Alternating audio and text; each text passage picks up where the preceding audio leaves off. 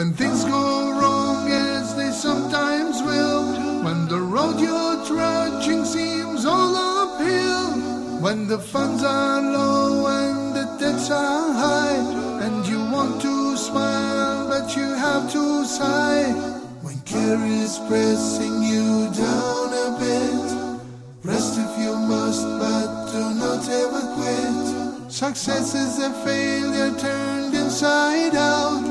Let's talk and clear the clouds. Bismillah ar-Rahman ar-Rahim. Welcome to Let's Talk. I'm your moderator, Omar Dunlap, welcoming you with the Muslim greeting of peace. Assalamu alaikum. And I would like to welcome, of course, our host, Idris Tawfiq. Assalamu alaikum. Wa alaikum salam wa rahmatullah. And our studio audience. Assalamu alaikum. And I would like to now turn to Brother Idris for his opening reflections. Bismillah ar-Rahman ar-Rahim. Alhamdulillah Rabbil Alameen. والصلاة والسلام على أشرف المرسلين سيدنا محمد صلى الله عليه وسلم والسلام عليكم ورحمة الله وبركاته In the name of Allah, most gracious, most compassionate, all praise be to Allah, the Lord of the worlds. Peace and blessings of Allah be upon His final messenger Muhammad, and may the peace and the blessings and the mercy of Allah be upon all of you who are watching this program today. Now, this episode of Let's Talk is about calling others to Islam. This is something very close to the heart of every Muslim because all Muslims want to tell people about Islam because we love Islam very much. So, a little thought about that as we begin the show. You know, I travel, I travel all over the world a lot uh, talking about Islam. And I sit for many hours on aeroplanes. I'm on many, many aeroplanes. And, and of late, I've been thinking, you know, there are no atheists on an aeroplane. You know, if you were to imagine that the, the, the engine were to cut out and the plane starts plummeting towards the ground, there are no atheists on that plane. There are no people who don't believe in God on the plane. The first thing they would think of would be to call on, please save us, help us. There are no atheists on a plane plunging to the ground. Just as, you know, in recent weeks and months we've seen in Haiti and in Chile those terrible scenes of, of earthquake and, and men scrabbling in the ground looking for their loved ones. And you know, even the man who's never prayed, there were no atheists scrabbling in the ground looking for their children. A man looking for his boy underneath a fallen building would be crying out, God, if you are there, take my eyes but save my boy. So there are no atheists at all, really. When, as we say in English, when push comes to shove, when the chips are really down, people turn to God. You know, we hear that our little girl is, is sick with cancer, and we pray, please, God, save our little girl. Take us, but save our daughter. Now, the message of Islam is very simple. The message of Islam can be summed up in two phrases. Islam teaches that there is a God, and Islam teaches that that God speaks to his creation. This is the essence of our, of our declaration of, of belief. We say, Ashahadu an la ilaha illallah. I bear witness that there is no created being worthy of worship but Allah alone. So there is a God. And we also say, Wa ashahadu ala Muhammad Rasulallah. And I bear witness that Muhammad is the messenger of Allah. In other words, this God is not just totally remote from his creation, but this God speaks to men and women. And so this message of, of Islam speaks to the hearts of all people. You know, as Muslims, we believe that Islam has existed since the beginning of time. There is no founder of Islam. Muhammad, peace, blessings of mercy of Allah be upon him, is not the founder of Islam.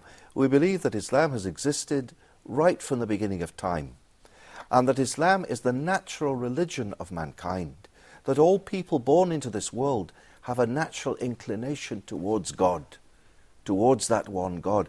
And it's only the action of their parents that makes them Christian or Buddhist or whatever other religion. So Islam is for all people. That message of Islam is for all people. And you know, as Muslims, we make Islam very complicated. we, we, we talk about very complicated things, when really Islam is so simple that it speaks to the hearts of all. That message that there is a God, that speaks to all people. All people know that. When, when they lose their job, people will pray. You know, when they get sick, they'll pray. When times are hard, they will pray. Just naturally, people turn to a being greater than they are to ask for his help in times of trouble. And, and you know, as Muslims, sometimes we're, we're missing what's most important for ordinary people. Be, when we're telling them complicated things, we're, we're missing out on what can touch their hearts. What can touch their hearts is that there is a God. All people believe there's a God. Whether they admit it or not, they do. They believe there is one. And you know, in Islam, we believe something very important about that God, Allah. We believe that Allah is certainly, He's so remote from His creation that there's no way we can describe Him. In fact, as Muslims, we're sure that if we come up with a definition of what God is like, well, the only thing we can be sure of is that He's not like that. We can't comprehend this God. He's the creator of the heavens and the earth and everything in between. But also, also we believe something else about Allah, about this one God. We believe that He knows every leaf that falls from every tree. He's more close to us than our jugular vein. He knows everything about us, more than we know about ourselves. So this God speaks to his creation. And, and throughout history, this one God, Allah, has spoken the same message throughout his creation. You know, sometimes we think, we think about different messages. We think about the message of Christianity or the message of, of Judaism or the message of Islam. Well, surely common sense tells us that this God wouldn't send different messages to his creation. Why would he want to do that? To trick them, to fool them, to confuse them? No, surely the message has been the same all throughout history. But men and women have, have complicated things and, and distorted things, and the prophets, peace be upon them all, have been called since the beginning of time to share this message of the oneness of Allah and how we should serve Him. So, this is what we're trying to do in calling people to Islam. We're calling them to something that their heart longs for this belief in one God and that He speaks to His creation. But that isn't my thought for today. That, that's sort of the introduction to the, to the show, calling others to Islam, to that simple message of Islam. My thought, really, though, is very simple. You know, all Muslims want to tell people about Islam. I want to do dawah, they say to me. Brother Idris, I want to do dawah. What can I do? How can I tell people in the West about Islam? Because we love Islam so much, we want to tell people. But you know, I started by saying I travel on planes a lot, travel on aeroplanes. Well, when you're sitting waiting for the plane to take off, the air hostess or the steward stands in the aisle and gives you the safety instructions. They teach you how to put on your, your seat belt, and they say that your, the, the shutters must be up and you know you, you, your seat must be upright. And they, they give, and they tell you where the exits are on the plane. They explain everything. And they say even if you're a seasoned traveler we need to tell you this. And there's something else they say. They say that if there's some turbulence and, and, and the plane gets into trouble oxygen masks will automatically drop from above your head. And what they tell you about those oxygen masks is very important. They say, make sure you fit your own mask first before trying to help anyone else. This is my thought for today's show. Make sure you fit your own mask first before trying to help anyone else.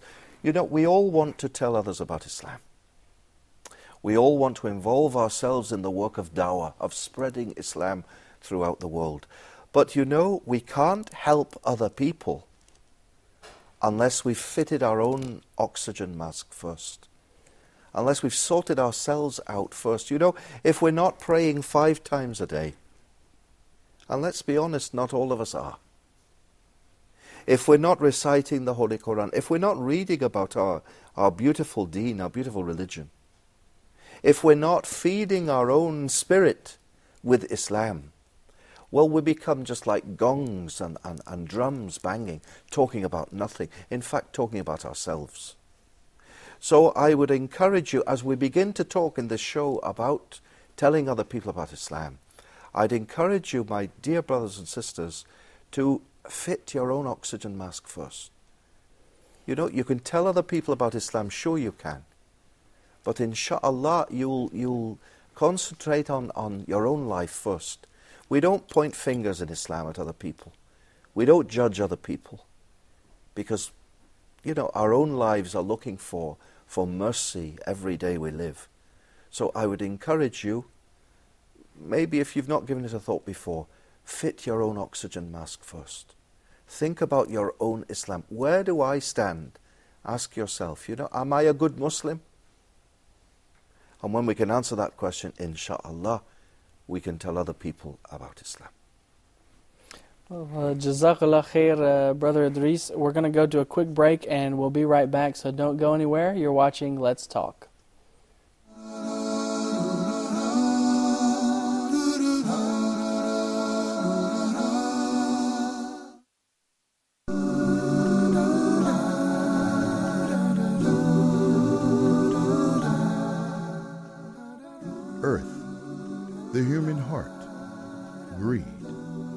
Exploitation, hatred, all diseases of the heart. For the cure, join Huda TV every Sunday at 20 GMT for Moments for the Heart.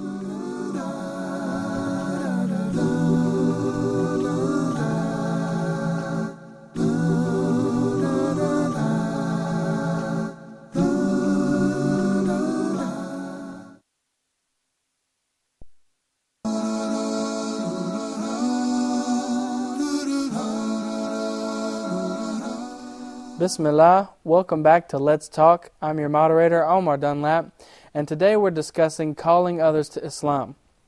We actually asked a group of indi- individuals a question uh, what, what do we need to tell others about Islam and why? And we're going to take a look at their answers, inshallah.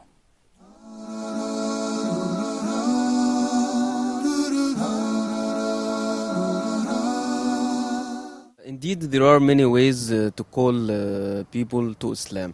So, what do you think about being a role model uh, as an effective way for da'wah?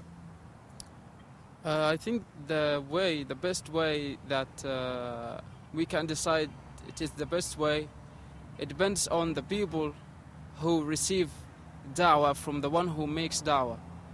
So, if it, some people may refu- refuse the, the, the, the, the most simple way, which is to, to give direct preach to them, especially people who uh, would feel very offended from uh, the one who gives them uh, direct, uh, direct speech or di- direct preach.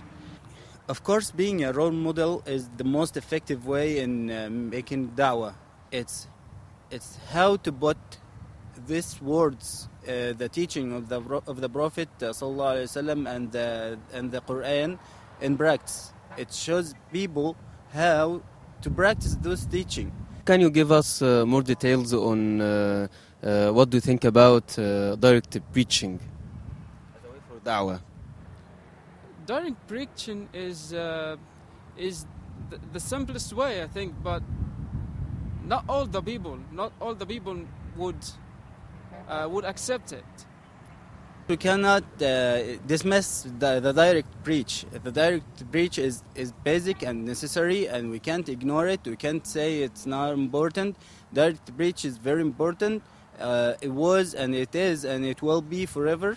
But if we said, if we, we are talking about the, the most effective way, of course, the most effective way would be the, the being the, the role model.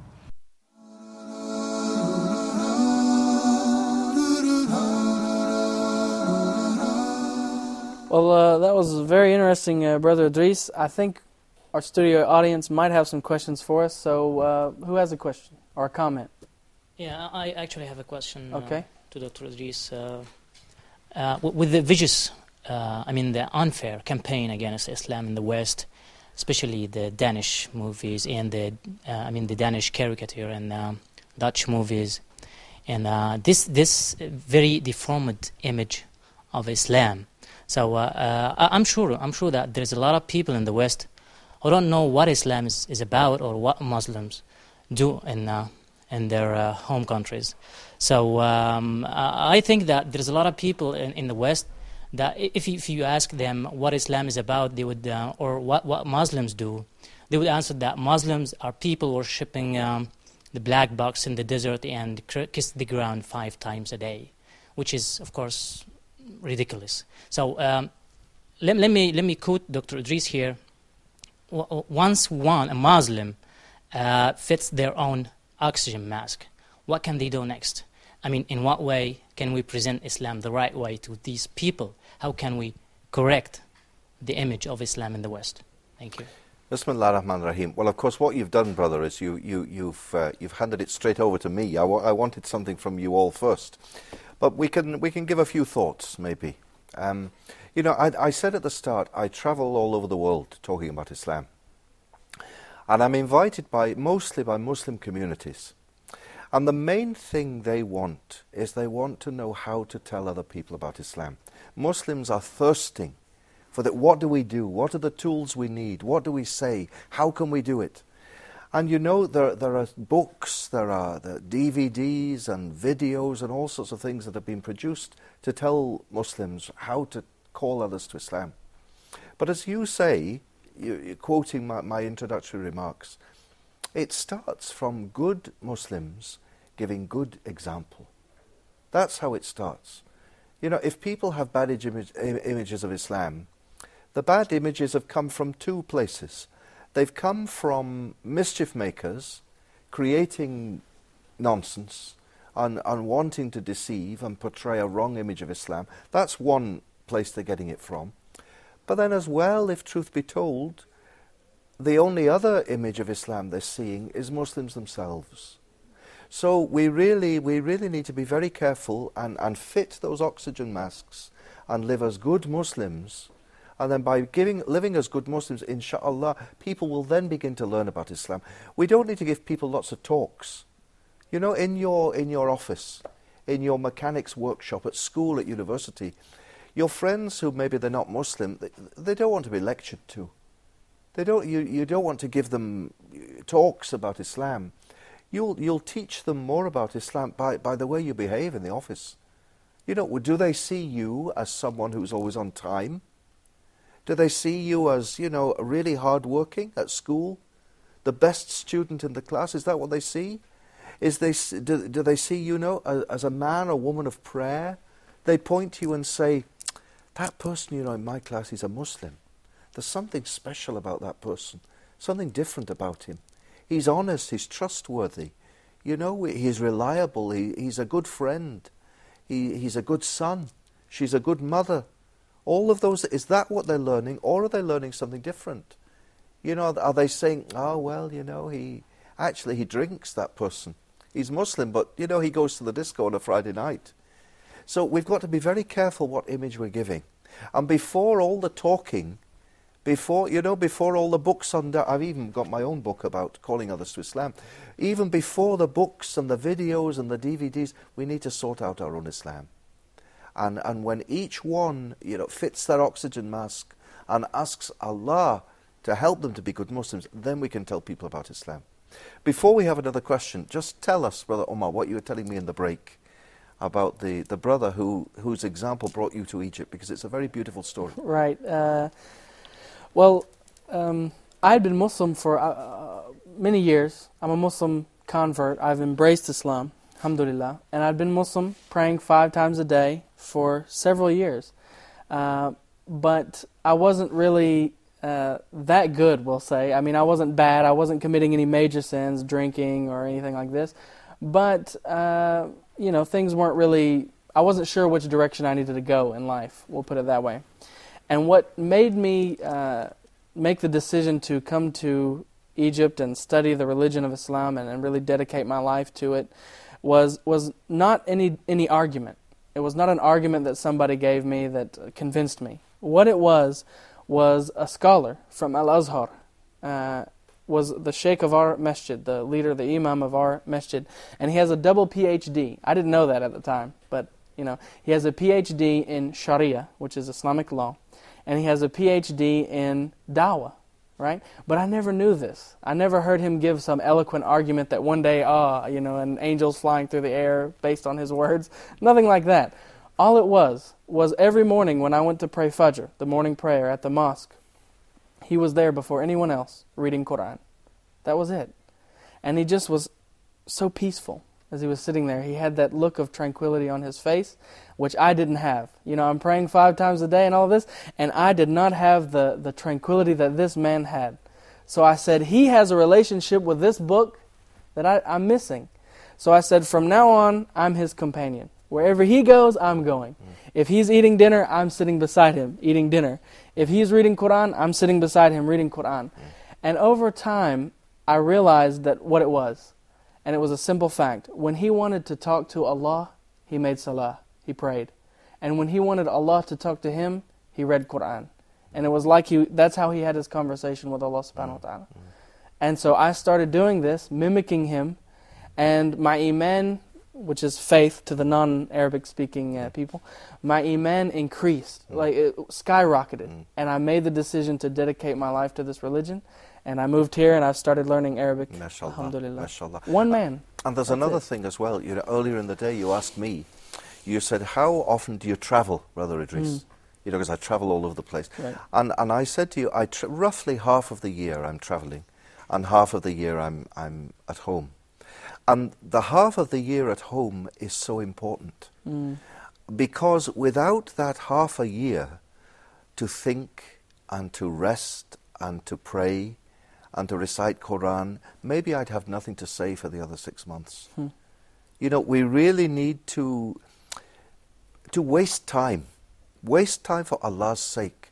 You know, waste time talking to ordinary people and be with ordinary people, and waste time looking at beautiful, walking by the Nile. What could be more beautiful to feed your spirit? You know, so we need time to think and to pray and to reflect. Socrates, you know, the Greek philosopher, said that the unexamined life is not worth living. We need time to think why did I get up this morning? You know, why am I Muslim? Why do I want to be Muslim? Why do I want to tell others about Islam? Right. Anyway, let's give Yeah, them a let's see bit more they, of a chance to speak. What they have. Yeah, go ahead, brother. in the light that Islam rejected any form of uh, proselytizing uh, and not to be confessed as uh, an Islamic uh, model of dawah. So, how can you reflect on the following saying? Deeds speak louder than words, and may a thousand of people be impressed with, with one's own behavior than thousands talking to a single individual. Mm. Absolutely, absolutely right, brother. Actions speak louder than words. Deeds speak louder than words. We can all talk. We're good at talking. We're very good at talking. You know, we could all stand on a box and give a speech, but it's more difficult to to to do what you're telling other people to do. You know, it, it's the case, isn't it? Sometimes we say to our kids, "Did you pray yet, Ahmed?" You know, go off and pray, and maybe we haven't even prayed ourselves. It's easy to talk. So you're right, actions do speak louder than words. As Muslims, there are 1.3 billion Muslims in the world. You'd think, really, if we were living as Muslims, the world would get the picture. They'd get the message. I mean, the message of Islam is so simple. And, and it's right, maybe I'm a very simple man, but I say to myself, what is it that they don't get? what is it that they don't understand? There is a God, and that God speaks to his creation. That's Islam. All the rest follows on from that. But because we complicate it so much and talk about other things first, people miss, miss what Islam is about. Islam speaks to the hearts of all, speaks to men and women's hearts, directly to their hearts. But because we're giving them something else, they're missing what's most important. Brother, I think you want to say something. Okay. What is the best role uh, one can play to spread the message of Islam, the beautiful message of Islam, while he is living in the Arab countries? What can he do? While he's living in the Arab countries, Yeah. Bismillah ar-Rahman ar-Rahim, all the Muslim countries generally. Mm. In other words, you're saying, how can we call people in the West to Islam if we're not living in the West? That's, that's the, the gist of the question. Well, again, the answer, it's, it's just what we've been saying all along. You know, the people in the West look at the Muslim world. And again, let's be honest, what they see isn't always good. It isn't always good what they see. If they were to see us every day living as good Muslims, I really believe that the, that the mighty powers of the West would sit up and take note. They'd sit up and listen to us. They, they'd take us as equal partners in discussion. But unfortunately, brother, that isn't what they always see. And so they don't take us seriously. And they don't treat us as equal partners. There is, there's no dialogue, it's just a monologue. We're being told what to do. So, in answer to your question, what, we do, what you do is you live as a good Muslim where you are. 1.3 billion Muslims living as good Muslims, they would sit up and say, wow, we want to be like that. You know, so that's the first thing. And it, really, it's the most powerful thing. If we did nothing else but lived as good Muslims collectively, the world would see Islam for what it really is. So that's, but then there are many other things we can do. We can, we can be involved in channels like this, like you're doing. You don't live in the West, but here you are talking to the world. You're talking about Islam. You can get involved in the internet. Mm. There are many, many good internet sites. I mean, you, you get involved in the internet a lot. Lots of things to talk about Islam. Uh, we can write to people. We can, maybe more than anything else, apart from living as good Muslims, we can educate ourselves about Islam and tell other people what Islam is really like. These are, these are small steps. It doesn't mean great things. You are not going to change the world, and neither am I. But maybe we can change the people next to us in the building, or the people at school or at university or in the workplace. And by doing that, we affect the whole world. Mm. I think also my, my story about the sheikh uh, in the masjid kind of answers that. Mm. You know, if you really have a connection with Allah subhanahu wa ta'ala, if you're really close to Him and your heart is full of love for Him, you know, then it will, it will have a natural effect on the people around you. I mean, it's just natural. I don't think it's, you wouldn't even have to try if you're a good Muslim. I mean, that's my, my take. Do we have uh, another question? I have a question. Go ahead, brother. Uh, yeah. Uh, when we want to call to Islam in the West particularly, what are the uh, important or the main points in Islam that we can uh, focus on during the uh, invitation or calling process? Bismillah ar-Rahman rahim You see, even before answering that question, what we must do is we must use the language that they speak. You know, we can't use a language that they don't understand. Now, I don't mean Arabic. I mean, we can't, you see, Europe, one of the guests we had here on this show, we had Dr. Hisham Hellyer, and he was saying that Europe is a post religious society.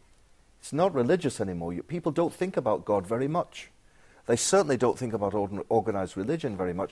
So if we're going, talking to them in this model, they're not going to listen to what we're saying. You know, we have to think outside the box. We have to think about the people we're talking to and care for the people we're talking to rather than think about what we want to talk about. You understand? They will listen to us if we're speaking to them in, in a language they understand. And we've said it before on this show, you know, if their only interest is football, well, we have to start with football. That's where we begin. It's no good talking about Islamic history if they have no idea what we're talking about. Even God you know, we're very blessed living in, in the land of Islam. We hear the adhan five times a day. We hear the name of Allah wherever we go. We hear Insha'Allah, Bismillah. We hear the, in the West often the name of God would never be mentioned from one week to the next. Mm, mm. So we have to think very carefully about the people we're talking to. Establish a relationship with them first. Let them see that we're not these people who are so out of touch with life that we're no earthly use. You know, that we're ordinary men and women, flesh and blood, with all the concerns that they have. We go out to work to put food on the table for our kids. You know, we enjoy watching football. We're ordinary people. Then let them see that this message of Islam has touched our hearts and that prayer is, it's like the air we breathe to us. But starting with that, they wouldn't understand what we were saying. So we have to bear all that in mind first, and then we tell them maybe a good way to start is the five pillars of Islam. The, the declaration of Shahada. I mean, just that in itself, we could talk for months to people about that. Not just mouthing words, but telling them. We said earlier on, you know, I bear witness that there is no created being worthy of worship other than the one God. That's what we believe as Muslims. Now that speaks to them because we're saying neither football, nor shopping, nor shoes, nor a big house, nor a car, nor your job. None of those is worthy of worship. None of the, those is so important that we should center our whole life around it more than Allah alone. If we put it into that context, it makes sense. But if we just use religious language, they won't understand what we're saying. And then the same with the other pillars. So I would say speak to people in the language they understand, and then be very simple, use very simple points that Allah is, is about one God, speaking to the hearts of men and women, speaking to them personally, and then when they've heard that message, that one God has certain rights, and, and, and we are called to worship Him and do as He wishes. He created us out of love, so He, he can expect certain things from us. But until we, we, we put it the right way first, we're putting the cart before the horse, and they won't know what we're talking about. Right. Well, uh, we're going to go to a quick break, so don't go anywhere. We'll be right back. You're watching Let's Talk.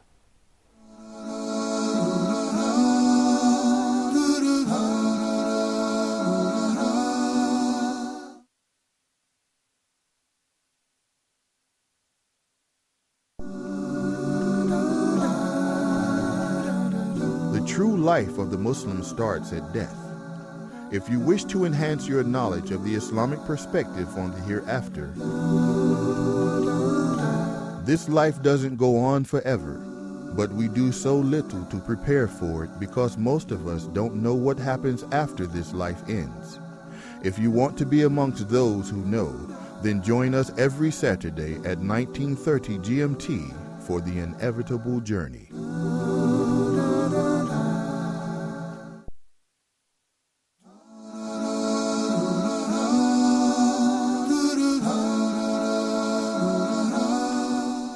Bismillah, welcome back to Let's Talk. I'm your moderator, Omar Dunlap. And of course, we have with us Brother Idris Tawfiq. Uh, brother, would you like to introduce our guest? I would be delighted to introduce our guest.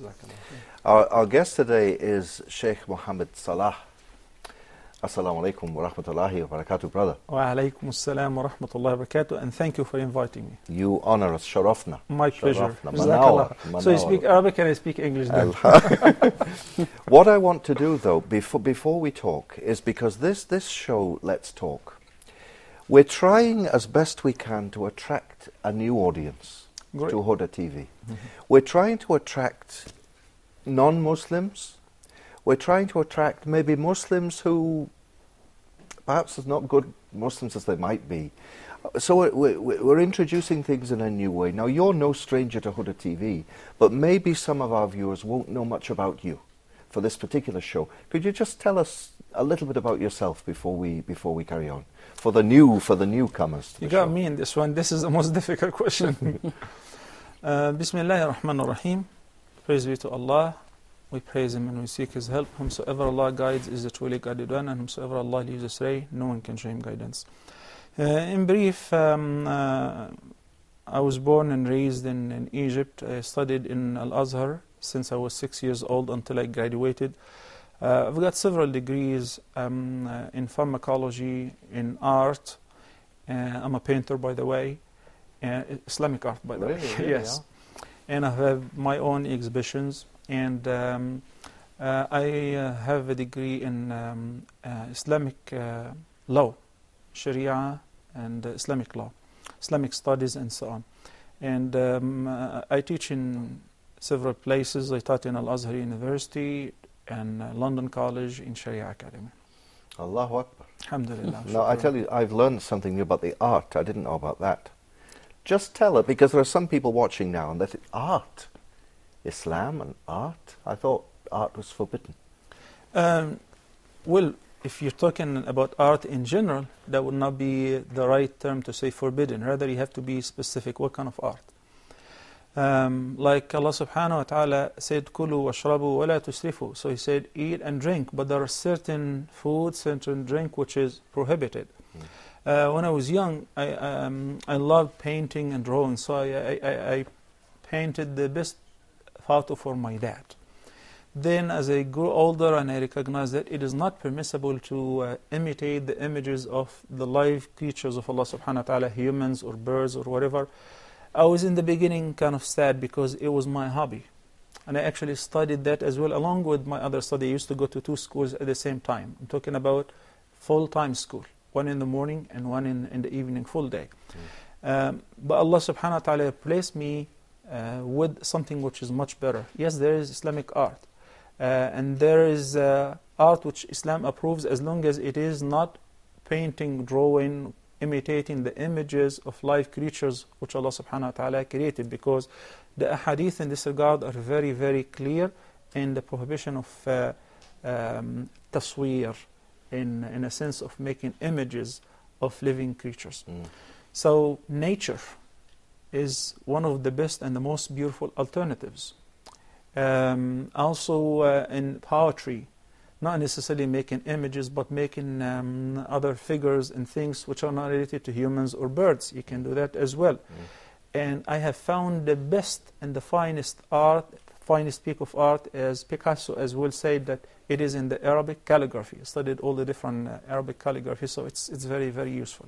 By the way, I've seen uh, what is it in uh, in your library? The carving. Yeah, the very beautiful. Was it metal or? Uh, ba- basically, it's a wood carving, but I painted it so it seemed Silver, like uh, it's yeah. uh, silver. Mashallah, it's Yeah. very beautiful. You have to see it. Mashallah. Inshallah, inshallah, I will. Now, the reason I asked you that question, brother, is because you know, we're talking about calling to Islam, Mhm. especially calling to Islam in the West. And as we were just saying with the audience, it's a very different situation. Europe has even been described as a post-religious society. You know, they've they don't talk about God at all. So how how then, from this background of art and so on, how do we present to people with no notion of God, with no notion of organized religion, who have this notion that Islam is somehow against anything that's fun, it's against anything that's, that's human and natural?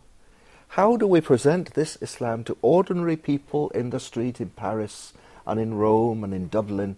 How do we present them as, as Islam is not just a, a bunch of rules to lay on their shoulders, but something that really touches their hearts? What do we do? Uh, yes, indeed. Number one, Islam is a group of rules, uh, but those rules do not restrict nor limit the life to. Um, like it, it will not make you live in in a prison. There is fun. There is halal fun. When we examine all the prohibitions with regards to uh, any kind of activity, from eating, drinking, dressing, and uh, uh, work or earning or business transaction, we'll find them very, very limited compared to the lawful, which is very, very vast. But it is a human nature that whatever is restricted is desired. Whatever is restricted. I, I just give you an example. Yes, it is not permissible to make images of humans or birds, but there are tons of other things which I, I was able to fulfill my desire uh, and hobby uh, and excel in this field in making things which are uh, uh, lawful. So, uh, for instance, in, in, in the States, people always thought, as you just said, that Islam is, is a religion which would make uh, its followers feel like uh, in, in prison. So when we have an open house, when we have our own activities, when we go fishing, when we go hunting, when we go uh, camping and uh, canoeing and all of that, that's permissible. All of that is permissible. The only difference is when we're having an outfield, an outdoor camping or whatever, we don't drink. We don't have uh, free mixing, men and women. We have separate entities. So we're having fun, but in a lawful way. Prophet Muhammad sallallahu alaihi wasallam said once uh, concerning one of the celebrations, because we have two major Eids, he said, حتى يعلموا أن في ديننا فسحة or farha. Let them know that our religion is also about fun, experiencing joy and delight. I want to tell you one thing. Uh, once I had uh, Yusuf Islam, uh, Cat Stephen. I invited him over um, where both of us presented a beautiful lecture um, in, in America, in Texas, at one of the universities. And somebody asked him, How do you find yourself after you were an, a star, an icon in the, in the sky of uh, music and so on? How were you able to quit doing all of that? So he said, I have found the best music in my life is listening to the Quran. Obviously, I'm not going to tell somebody who is not a Muslim or a Muslim but is not a practicing Muslim, you know what? The fun and the joy and the light is to listen to the Quran or recite the Quran because he is not there yet. Mm. But I can tell you that, yes, to me and to those who are living in this mood, I swear to Allah, in, who, in whose hand is my soul, that the best joy and delight is when you're lying up, your feet before Allah at night to pray the night prayer. Mm. So this is a different stage. But for ordinary people, in order to uh, show them that um, uh, Islam is not against uh, enjoying your life, that show and present how you enjoy your life in a halal way, Mm. in a halal fashion. Mm. So every time we have, for instance, um, a picnic or whatever, we do everything that people do, except for the fact that if we are having sisters, they're wearing their proper hijab. Mm. We don't have this kind of music. We don't have drinking. Mm. These are the things which, once they're eliminated, then the whole thing is lawful Mm, and halal. mm. You see, I would challenge anyone watching to look, go to look at my website because on my website there are lots of photos of Muslims all over the world, many, many countries, and they will see in all of the photos everyone is smiling. And I insist for anyone who's going to be on my website be speaking about Islam that they present an image of Islam that is happy and smiling and not miserable. We've enough miserable people in this world without True. adding to them more. So, what's the very essence of Islam then, brother, that we tell people about that know nothing about Islam? How can we begin? What do we tell them is the most important thing? Let me pick it up from there. You just said about people smiling. This is an Islamic etiquette, an Islamic uh, instruction. The Prophet sallallahu alaihi Yes, wasallam sir. considered this kind of smile is an act of charity. Mm. This is an act of worship. Mm.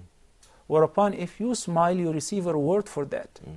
Even if you're pretending that, in, in fact, that you're full of sorrow or you're having so much worries, but you're smiling to make people happy. The Prophet ﷺ said, تَبَسُّمُكَ فِي وَجْهِ أَخِيكَ صَدَقَةً Whenever you smile upon meeting your brother, this is an act of charity. Mm. So this is one thing. I always say and I repeat that the best form of giving da'wah is through being a role model, through being an example. Mm. Is not by giving lectures, is not by presenting a speech and convincing people that, or debates. Mm. No. The best way, if you're working somewhere, I still remember my very first few days in the States where there was not a single Muslim in the area where I was living at. And uh, one time we were having a meeting with my colleagues and co-workers, and one of them said, Muhammad, you missed your prayer. It was 15 minutes past Asr time, and I was shocked. I said, how did you know? I thought those guys have no idea whatsoever about Islam, but living with them for uh, from one week to 10 days. Mm. They have observed closely that certain times I withdraw and I have my own prayer rug and I have my campus Mm. where I know what is the direction of the Qibla Mm. and I start my prayer. So I asked her, How do you know that I'm supposed to be praying right now? Mm. She said, We know things. We're monitoring you. So this is one thing which impressed them that you're committed. Mm. And when once the meeting took a little longer, 15 minutes past the time she looked in her watch and said, she said that so people are keeping an, they, they keep an eye on you Mm. if you're different. Mm. Not necessarily if you're Muslim, if you're anything that is different. Mm. So whenever you are you're being yourself, a good Muslim, as Mm. the Prophet ﷺ Yes, said, sallallahu this is the core of his message. Mm. In one hadith, the Prophet ﷺ said, Yes, إنما بعثت لأتمم مكارم الأخلاق. I have been sent exclusively to perfect good manners. Mm. This is the main mission, of course, obviously, along with the Tawheed, Mm. which is worshiping Allah alone, Mm. recognizing His unity of worship Mm. and lordship, etc., Mm. to be well mannered. Mm. And He said, Sallallahu Alaihi Wasallam, that on the day of judgment, the best of mankind and the closest to the Prophet Sallallahu Alaihi Wasallam in heaven will be of uh, those who had the best manners in this life. So if you're like that. You're a da'iyah without saying a word. When there is a little mistake in the receipt, and that happened repeatedly, once I purchased something, I guess it was Office Depot or Office Max, one of those office supplies, and I re- returned it. So they gave me, they refunded the money in cash. Then a month later, they sent me a check with the same amount. So now they paid me twice. And I took it to the store and I said, I don't know what is this for. She said, it's your name on it, so it belongs to you. I said, but uh, I don't know what is it for. Hmm. She tried to remind me, and finally we figured out that's an item which I purchased and in return, and I got a full refund for it. I said, Well, I cannot take this. Hmm. She said, Well, it's yours. Have fun. You can take it. Hmm. I said, Is this what you think? I can't. I'm not trying to pretend, but this is a fact. Uh, unlawful earning is not about stealing or just breaking some into somebody's house. There are so many things which are prohibited, such as if you find something which does not belong to you, you cannot just pick it up, stuff it in your pocket, and say, This is mine, I found it. Mm. No. There is an Islamic uh, rule in this mm. regard, even mm. lost and found, depending on its value. So I say, I can't. Automatically, those people will ask you, Why? Here you have an opportunity to explain. I can't take it because it is unlawful. Mm. One, two, three. Mm. My religion taught me this and this and this and that. Everything, everything, everything that you do, mm. somebody will ask you about certain behavior which is unique to them or strange or they're not familiar with. And once you have an opportunity to explain, you present your da'wah short and in brief. You see, not too long ago, I was in um, the National University of Ireland in Galway, in Western West Ireland, and present at the same event was the Roman Catholic chaplain to the university. Hmm. He honoured us by coming. We were talking about Islam, and he came to show his friendship and his support to the Muslim students.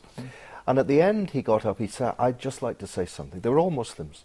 He said, "I just want you to know, as students, how much we the staff at the university and the other students in the university are impressed by you. And they were astonished, really, and it was wonderful to hear it. Mm. He said, You know, we expect great things of you as Muslims. Mm. We expect you to behave in a certain way, and we expect you to, to speak in a certain way. And this is very, very important.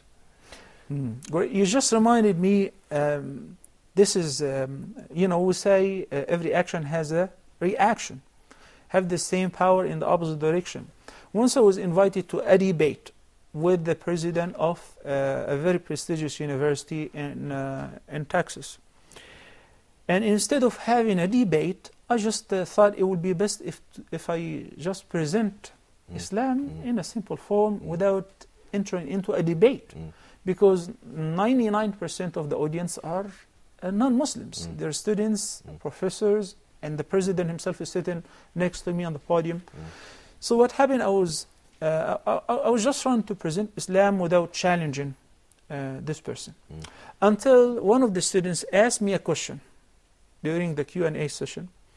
And the question was that why Muslims are killing Jews.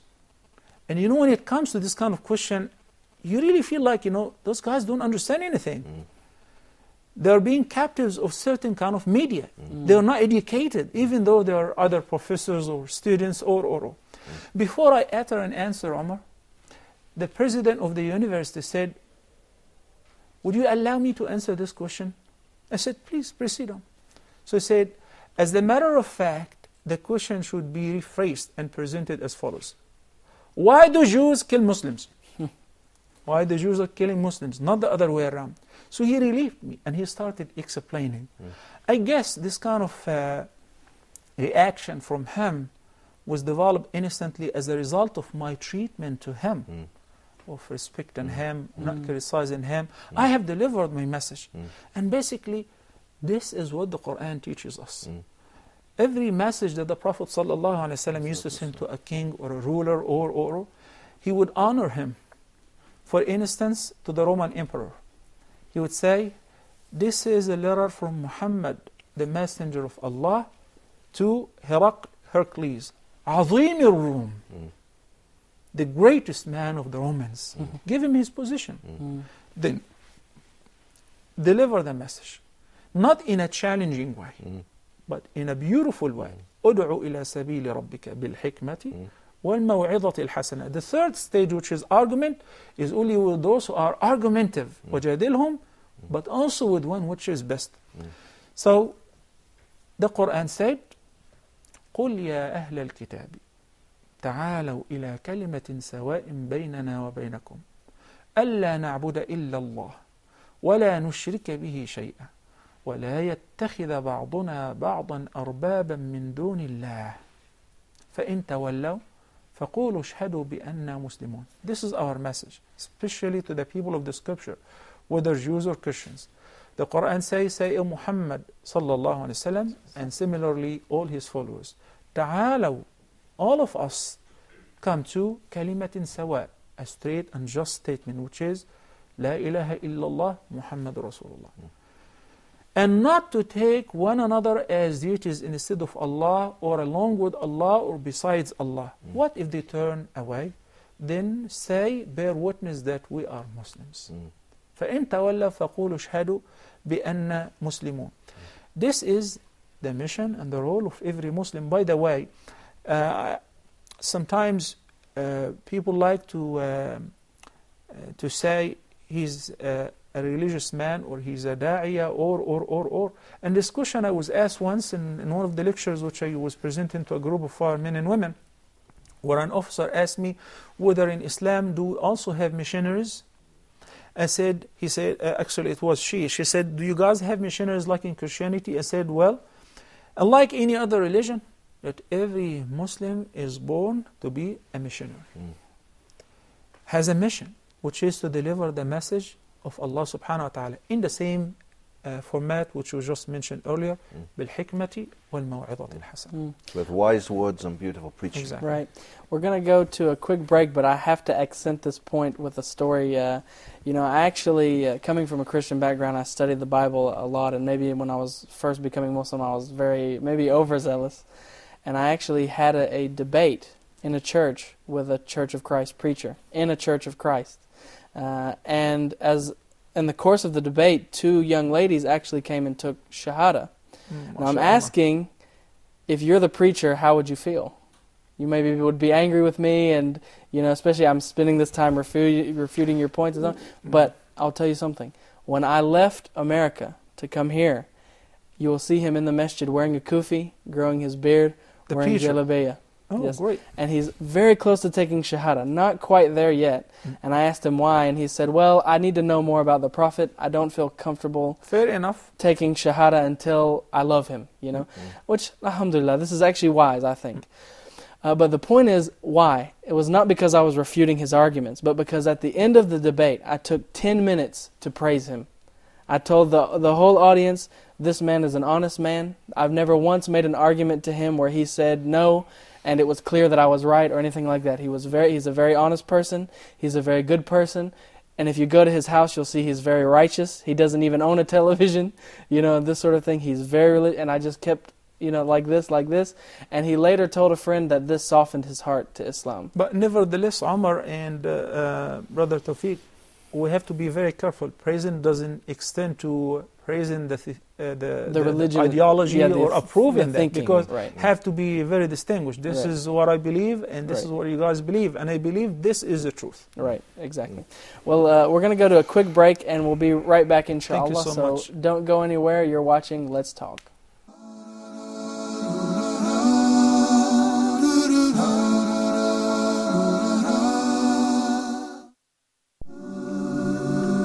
So this is an open invitation for everybody to recognize God and enjoy His blessings in this life and His mercy in this life and in the hereafter as well. Allah, Ar-Rahman, Ar-Rahim. Each name has a meaning. Each name signifies a nature of Allah the Almighty which no one shares or is compared to Allah in it.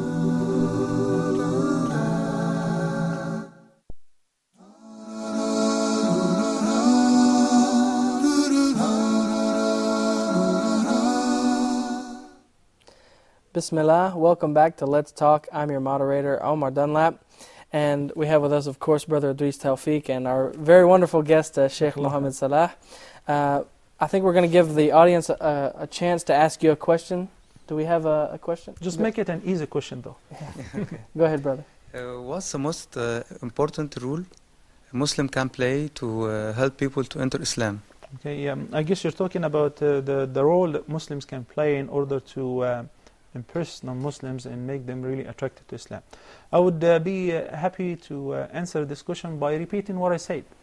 Uh, being a role model uh, through your actions, your behavior. Uh, in another word, I would say uh, talk less and act much. Act modest. Mm. Act truthfulness. Mm. Um, uh, respect others. Mm. Adopt the moral system of Islam. Mm. Then once you're asked, you can talk. Talk very loud. That's my advice. Alhamdulillah, very good, very good. Well, uh, Brother Idris, we're going to go to our emails now. We have one from uh, Sister Alina in Malaysia. And she says, uh, Brother Idris, I have seen from your Facebook group that you often give talks about Jesus and Islam. And sometimes these talks are given to non Muslims. And she's curious how do non Muslims react? Are they offended? And, and so on. Bismillah ar-Rahman ar-Rahim. In fact, that, that question answers, uh, follows on perfectly from what we've been talking about. Recently, I was at Cambridge University uh, talking about, uh, in fact, I was talking about Moses, Jesus, and Muhammad, peace be upon them all. Upon them. And I began the talk, because they were half Muslim, half non Muslim, I began the talk by saying, if anyone has come here today to play games, or to score points, Mm. you know, or, or, or to belittle anyone's beliefs, you've won already. you know, I'm not into playing games. If you want to play a game, okay, I give up. You've won the game. Let's not waste time. I've just come here to tell you very clearly what Islam teaches. There's nothing to debate about. What would we debate? This is what Muslims believe. There's nothing to discuss. Right. I'm going to tell you in a very simple, clear way. And I've learned, brother, that you can say anything to people as long as you say it in a very nice way. Mm. If you say it in a respectful way, as, as, we, as we've heard, as long as you say to people, I respect you. What you believe, I consider to be wrong. I, I think that you believe the wrong thing. And what you believe isn't going to lead you to, to paradise. But the fact that you believe it, I respect you. Mm. And, and I found in talking about Jesus salam and explaining what Muslims believe about Jesus salam, non-Muslims are prepared to sit and listen, and, and at the end they say, "Thank you for explaining that to us. We didn't know that before." Mm. So it, it follows on very perfectly in dealing in, in all things: good manners, good behaviour, respectful, polite, well behaved, well well presented, so that people see in us the Islam that we're talking about. That's right. Well, unfortunately, I, I wish we had a two hour show, but that's uh, all the time we have for us today. So we hope to see you next time, inshallah. Until then, I, I'm your moderator, Omar Dunlap, wishing you peace. Assalamu alaikum. Wa alaikum Alaikum assalam.